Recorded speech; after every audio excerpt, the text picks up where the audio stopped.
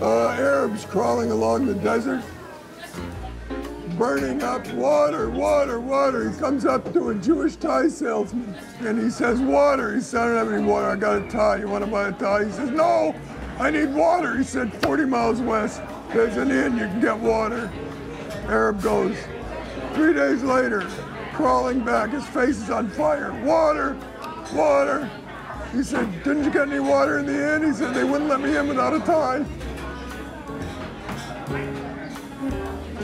I never heard that one. Ten-year-old's walking down the hallway of his house. He hears screaming in his parents' bedroom. Opens the door. Dad's wearing a wig and bunny shoes. Mother's dressed in a cheerleading outfit, and they're going at it.